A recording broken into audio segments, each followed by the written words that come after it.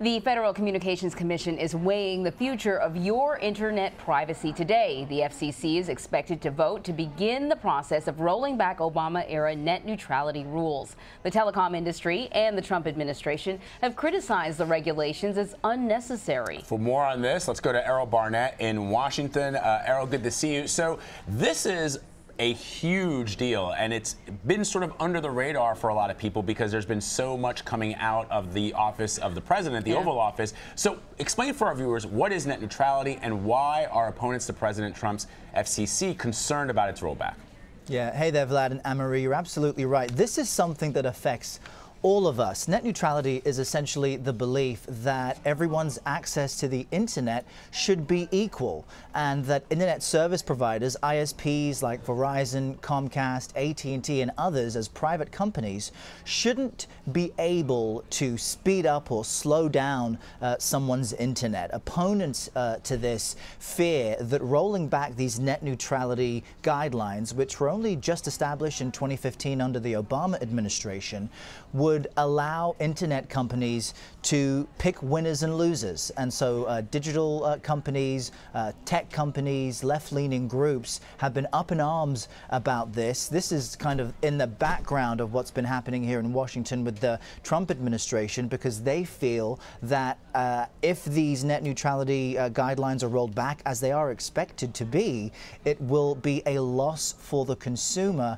uh, while private powerful corporations will have a stronger ability to throttle internet access.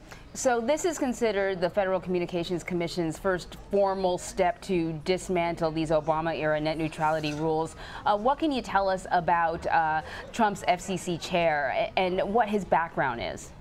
Well, Ajit Pai, um, I, I, spoke with him earlier this week, is the FCC chairman, very charismatic. He has uh, been a lawyer for most of his professional career, but was an employee of Verizon, their legal counsel, for some time.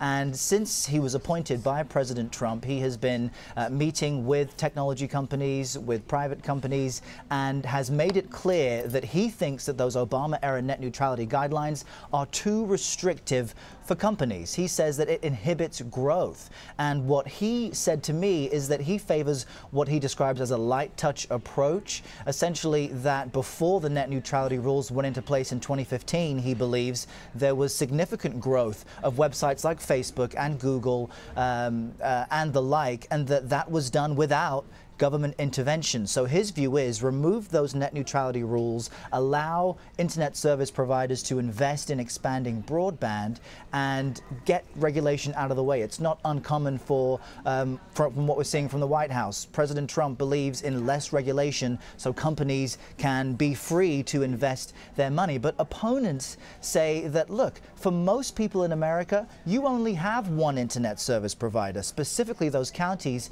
that voted for President Trump. If you live in a rural place in Montana, for example, you don't have your pick of three or four companies, you only have one. And if those companies can now charge you a premium to stream CBSN or watch Netflix or do what many people do now through their internet, you as the consumer have fewer choices. So it has really teed up, um, you know, private companies that think this will allow them to have fewer restrictions, and a lot of uh, tech folks who I have interviewed, including the guy who coined the phrase net neutrality, Professor Tim Wu in Columbia, who say this, when people realize the impact it will have on their daily lives, um, there will be outrage. So the proceedings are underway right now, and um, it's, it's something that's been under the radar, so to speak, uh, here in Washington. Absolutely. I mean, it's expected to be a bitter, months-long battle. Um, and you, as you point out, Errol, it's really hard to understand what a light touch means yeah. because yeah. anytime you strangle, you, you put a bottleneck on the data that somebody can receive on their computer, on their iPad, on their uh, mobile devices, and then you allow companies to charge premiums uh, vis-a-vis -vis other companies who may have different pricing schemes. I, it's not clear what that light touch will look like. So I guess the question is, when can we expect a final decision?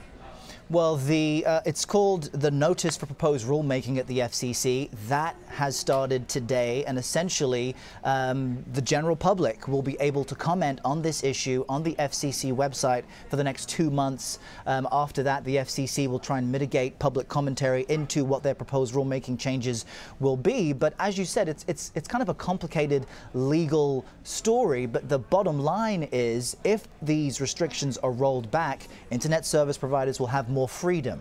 And you and I, as customers, will have to, um, you know, see what happens. And I said to the FCC chairman, you know, doesn't this pave the way for companies to charge people more money for the service they already receive? And he said, well, let's not work uh, in hypotheticals. We've not seen any evidence for that just yet. Uh, but John Oliver, the comedian on HBO, has taken a particular liking to this issue in 2014 and even this past weekend, Vlad and Anne Marie. And when he did, he essentially set up a new URL to make it easier for Americans to get to the place on the FCC website where you could leave commentary. And at last count, 1.6 million uh, different comments have been posted to their website. At, at, one point, it crashed, and the FCC believed it was under a, a denial of service attack. So when comedians, of course, he, he does have an agenda and a, a point of view, but when this issue is spelled out for people, it really does scare them. And the expectation is, despite the backlash that's already uh,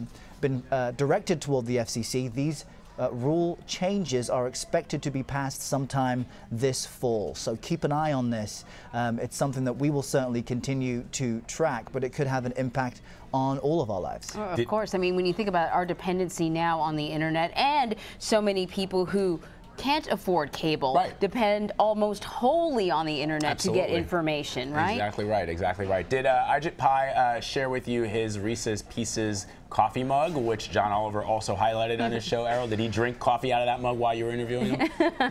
He absolutely did. Did he really? I was totally kidding. I thought he would. Know. Wow, that's incredible. It was funny. I think it's his thing. I mean, he he walked into the room with this big, oversized Reese's cup with coffee. I mean, it's comical, but he does drink from that. He's also. I mean, this is what's interesting about the FCC chairman. He has taken to the airwaves. He has made himself available for interviews, and he even read mean tweets about himself as part of an effort to raise awareness of the changes he's making. So, you know, for those on the left and those uh, digital companies who kind of paint him as a villain. He's done whatever he can to kind of break uh, through that. But you're both right. This people may not realize that your cell phone, the data in your cell phone when you go home and connect through Wi-Fi, that information can be shared to your internet service provider. So just imagine the amount of information they have on all of us, our shopping preferences, where we physically go each and every day. Another FCC change allowed them to get rid of this opt-in requirement mm -hmm. for, for those companies to sell that information.